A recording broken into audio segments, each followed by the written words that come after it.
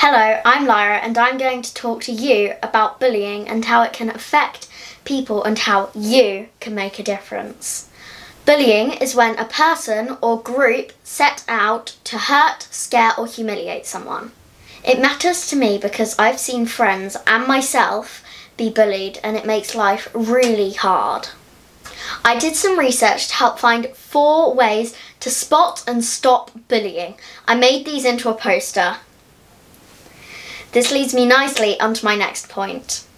I'm going to talk to you about these four points one at a time.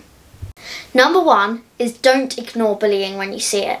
This matters because if you ignore it, then it only makes matters worse. Number two is to be an example of someone who stands up to bullying. This is important because you can be a role model so that then more people will stand up to bullying. Number three is to let the person or people who are doing the bullying know that their behaviour is not okay.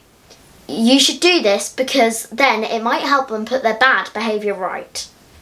Number four is to get an adult so that then they can help stop the bullying. You can help stop bullying by doing these four things yourself and spreading it with other people so that they can do it too.